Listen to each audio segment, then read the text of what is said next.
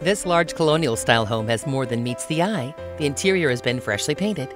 It offers a nice open floor plan with living room, dining room, kitchen combo. There are two bedrooms and full bath on the first floor, along with four bedrooms and a full bath on the second floor. One of the bedrooms downstairs is a larger size, with sliding glass door that leads out to a decent sized fenced in backyard. The hot water tank is approximately two years old. The back roof on the house is approximately eight years old, and the front roof is approximately 10 years old. Make it yours with a call to Stephanie Bish, with a call to Stephanie